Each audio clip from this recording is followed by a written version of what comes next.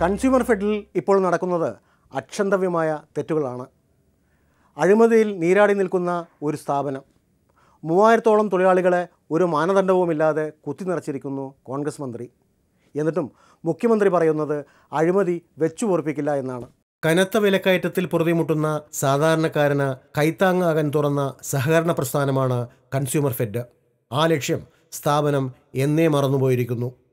നാടാക വിലക്കയറ്റത്തിൽ പൊറുതിമുട്ടുമ്പോൾ consumer ഫെഡിൽ നല്ല വിലയുള്ളത് വിവാദങ്ങൾക്കും അഴിമതികൾക്കും തമ്മിലടിക്കും മാത്രമാണ്. ഏറ്റവും ഒടുവിൽ ടോമിൻ തച്ചങ്കരി ഐ പി എസിനെ എം ഡി സ്ഥാനത്ത് നിന്ന് മാറ്റിയതാണ് നാട്ടിൽ കൺസ്യൂമർ ഫെഡിന് വിലയുണ്ടാക്കിയത്. നന്മ സ്റ്റോറുകളെല്ലാം പൂട്ടി. മൊബൈൽ യൂണിറ്റുകൾ ചലിക്കുന്നില്ല. വിതരണക്കാർക്ക് മുന്നൂറ്റി ഇരുപത്തിനാല് കോടി കുടിശ്ശിക. ഇതോടെ തുറന്നിരിക്കുന്ന സ്റ്റോറുകളും കാലിയായി. ആയിരത്തി ഒരുന്നൂറ് കോടി രൂപ ബാധ്യതയോട് കൂടിയാണ് നിൽക്കുന്നത്. ഇപ്പോൾ ആയിരത്തി ഒരുന്നൂറ്റി ഇപ്പോൾ ആയിരത്തി ഇരുന്നൂറ് കോടി രൂപയായി കാണും. കാരണം ഇൻട്രസ്റ്റ് ഇങ്ങനെ കൂടിക്കൊണ്ടിരിക്കുകയാണ്. സപ്ലൈസിന് കൊടുക്കാൻ കിടക്കുന്ന പത്ത് മുന്നൂറ് കോടി രൂപ.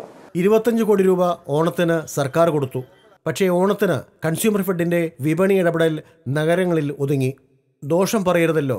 ഓണത്തിന് മദ്യക്കച്ചവടം പൊടിപൊടിച്ചു. കൺസ്യൂമർ ഫെഡിന്റെ ഉദ്ദേശം എന്ന് പറയുന്നത് സാധാരണക്കാരായ ജനങ്ങൾക്ക് അല്ലെങ്കിൽ വരുമാനം താഴ്ന്ന വരുമാനമുള്ള ജനങ്ങൾക്ക് നിത്യോപയോഗ സാധനങ്ങൾ സബ്സിഡി റേറ്റിലെ വില കുറച്ച് കൊടുക്കുക എന്നുള്ളതാണ് ഇദ്ദേഹം വന്നതിന് ശേഷം അതിലേക്ക് പുള്ളിയുടെ ശ്രദ്ധ പതിഞ്ഞിട്ടില്ല. അദ്ദേഹത്തിന്റെ ശ്രദ്ധ പണം ഉണ്ടാക്കണം. ആ പണം ഉണ്ടാക്കാൻ അദ്ദേഹം എടുത്തത് ബിവറേജുകളെ ശക്തിപ്പെടുത്തുക.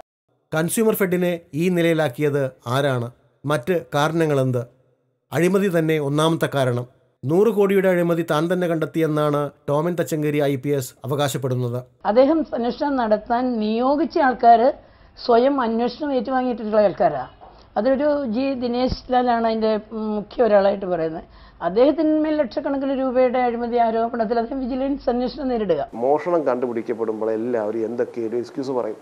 അമ്മയെ തല്ലുന്നവരും എന്തൊരു എക്സ്ക്യൂസ് പറയും. അല്ലാതെ ഈ മോഷണം നടന്നിട്ടില്ല എന്ന് ആർക്കെങ്കിലും പരാതി ഉണ്ടോ? അത് കേട്ടിട്ടുണ്ടോ? ഇല്ല. അപ്പോൾ മോഷണം നടന്ന വിവരം ഒരു കള്ളൻ എന്നറിയിച്ചാലും ഒരു കൊലപാതകം എന്നറിയിച്ചാലും അത് കേൾക്കുന്ന ഉദ്യോഗസ്ഥനെ സംബന്ധിച്ചോളം ആ മോഷണം മോഷണമാണെങ്കിൽ അത് അതിനനുസരിച്ച് നടപടിയെടുക്കണം അതേ ഞാൻ ചെയ്തിട്ടുള്ളൂ. വന്നവരും പോയവരും കറവപ്പശു ആക്കിയതിന്റെ രക്തസാക്ഷിയാണ് കൺസ്യൂമർ ഫെഡ്. സഹകരണ മന്ത്രിയടക്കം ഇക്കാര്യത്തിൽ ഗുരുതരമായ ആരോപണം നേരിടുന്നു. അന്വേഷണത്തിന് സമ്മതമറിയിക്കലും അഴിമതിക്കെതിരെ ഒച്ചയെടുക്കലും നടപടികളുമെല്ലാം കൺസ്യൂമർ ഫെഡിൽ തുടരുന്ന പൊറാട്ട് നാടകത്തിന്റെ ഭാഗം മാത്രം. ഇതൊന്നും ഉപഭോക്താക്കൾക്ക് വേണ്ടിയുള്ളതല്ല. ടോമിൻ തച്ചങ്കരി എക്കാലത്തും വിവാദ പുരുഷനാണ്. പക്ഷേ കൺസ്യൂമർ ഫെഡ് വിഷയത്തിൽ അദ്ദേഹം കയ്യടി നേടിയിരിക്കുന്നു.